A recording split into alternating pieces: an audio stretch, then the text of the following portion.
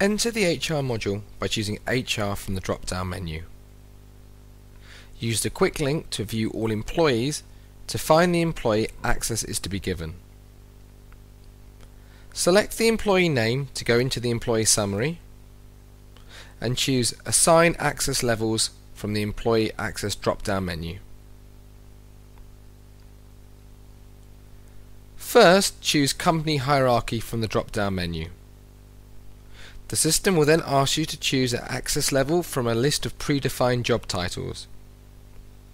In the Report to drop-down, choose the relevant manager from the list given. In the Quick Select section, you can choose the locations and divisions that this member of staff has access to. If Own Only or All is chosen, all of the modules will be populated at once. If Bespoke access is to be given, select Bespoke and click on the Edit button. The next screen requires locations or divisions to be assigned.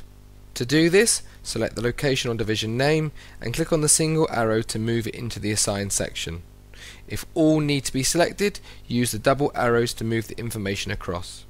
Click on Save and then OK at the prompt.